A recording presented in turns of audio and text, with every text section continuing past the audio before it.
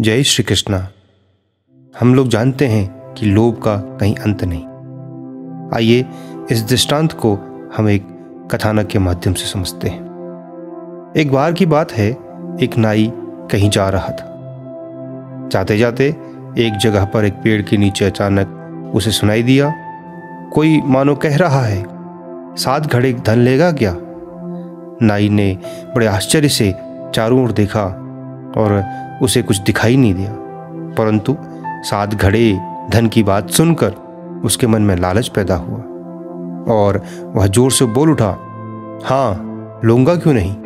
क्यों ही उसे फिर वही आवाज़ सुनाई दी अच्छा तेरे घर पर रख आया हूँ, जा ले ले नाई ने घर आकर देखा, सचमुच ही सात घड़े रखे हुए हैं। उसने सब घड़ों को खोलकर अच्छी तरह देखा तो उसे दिखाई दिया कि वह छह घड़े तो सोने की मोहरों से भरे हैं, पर सातवां घड़ा कुछ खाली है।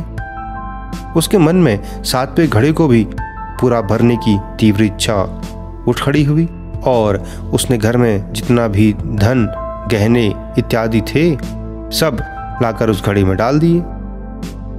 पर भला इतने से वह घड़ा कैसे भरता? घड़े को पूरा भरने के लिए नाई बड़ा व्याकुल रहने लगा। घर गृहस्थी के खर्च में कटौती करते हुए वह बचा हुआ सारा धन घड़े में डालने लगा। पर वह घड़ा भरता ही नहीं था। अंतम उसने राजा से प्रार्थना की कि उसे जो वेतन मिलता है, उससे उसका गुजारा नहीं हो पाता।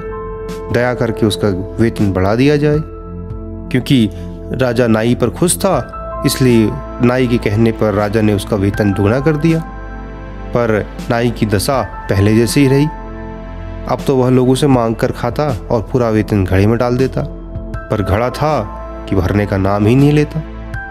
दिनों दिन नाई की हालत को बिगड़ते देख एक दिन राजा ने पूछ ही लिया, क्यों रे? तुझे जब कम वेतन मिलता था, तब तो तेरी गुजर बसर अच्छी तरह से हो जाती थी।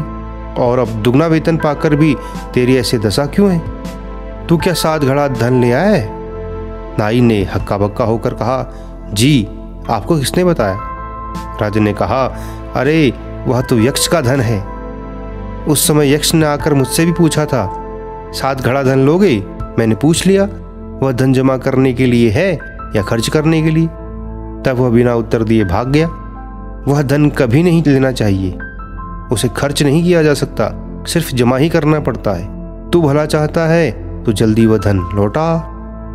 तब नाई को होश आया और वह झटपट उस जगह जाकर चिल्लाकर बोला तुम्हारा धन तुम ले जाओ, मुझे नहीं चाहिए। यक्ष ने कहा, ठीक है। घर लौटकर नाई ने देखा कि वो सातों घड़े गायब हो गए हैं। दुख की बात तो यह थी कि इतने दिनों तक पेट को काटते हुए उसने उस खाली घड़े में जो कुछ भी धन डाला था, वह भी चला गया। इसलिए कहते हैं, दोस्तों, वास्तव में लोभ रूपी सातवां घड़ा कभी नहीं भरता। अर्थात लोभ का कभी अंत नहीं होता।